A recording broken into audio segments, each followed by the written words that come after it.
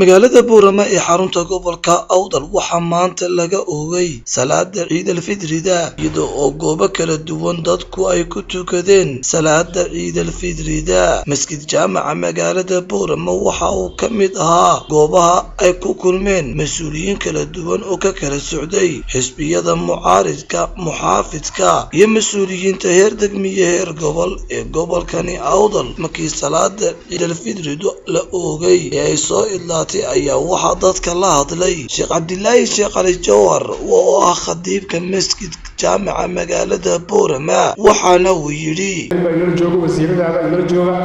kulley madaxda kolka gobollada way u kala baxaan oo waa caada ilaa yowmal istiqlaalka maalintii la qaatay. Ilaa yowmana haada waa caado inay madaxdu inta madaxweynihii inuu faro oo wasiiradiisa inuu faro iyo gobollada inuu faro dadka inay la ciidaan salaantana ay gaadhsiiyaan. Innaguna aan sidaas kadalik sidaas oo kale salaanta iyo ducada innaguna aynu gaadhsiino. In ilaahay waddankeena inoo barwaaqeeyo amni inuu inooga dhow. Sidoo kale waxaa iyaguna halkaasi ka hadlay meeyarka magaalada buurama saleebaan xasan xadi wasiirka wasaaradda horumarinta beeraha somalilan axmed muumin seed wasiirka wasaaradda ganacsiga somalilan maxamuud xasan sacad saajin iyo musharaxa madaxweyne ku-xigeenka xisbiga mucaaridka ee wadani maxamed cali aw cabdi waxaana ay yidhaahdeen reer somalilan meel kastoo ay joogaan farxadda maalinta ciideed ee ciiddaa barakaysan ee ciidalfidri waa maalin farxad leh halis wada saamaxo. Meel kastoo la joogo waa maalin jaarku isbooqanayo dadku wada faraxsan yihiin. Dadka islaamku meel kastoo ay joogaan ay faraxsan yihiin. Waayo waxay maanta guteen waajibaadkii saarnaa ayay guteen. Soddon maalmood bay soo soomanaayeen. Waa la wada faraxsan yahay. Inta goob cibaado ku kulantayna waa ka sii khayr badan tahay. Ilaahay haynaga aqbalo cibaadadii.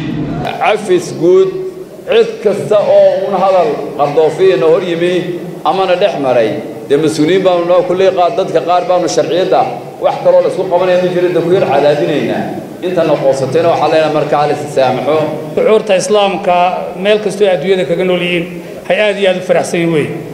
Ilaahay waxaan uga mahadnaqaynaa intii uu ilaahay soo gaadhsiiyey soonka iyo salaadda iyo cibaadada intii ilaahay ka aqbalay inuu inaga dhigo waad la socotaan runtii sheekhu xaaladda uu ka hadlay khudbaddeennu ay ku saabsanayd waxay ahayd dhibaatooyinka haysta dhammaan dadka muslimiintaa ee reer falastiin. Ilaahay waxaynu uga baryaynaa ciddii muslimiina ee cadaadis iyo dhibaata haysato inuu ilaahay ka dulqaado ayaan ilahay u baryaynaa.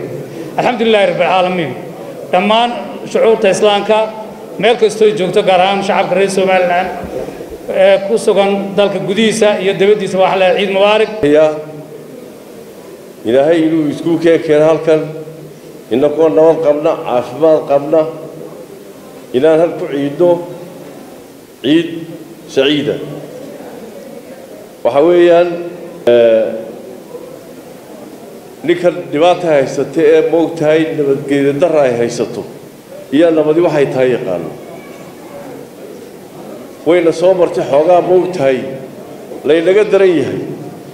Laakiinse dareenkeeday lahayd alxamdulilah maanta min koona ilaa koona min sayda ilaa ilaa dilaa waxa weeye gobolku nabad ku nool yahay.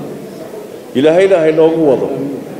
Dadaalkeedana ay yeelanno ummadda soomaaliyeed dhammaanteed gaar ahaan ummadda somalilan ummadda muslimiintaa meel kastoo joogaanba waxaan leenahay ciid mubaarak ciid mubaarak ciid mubaarak.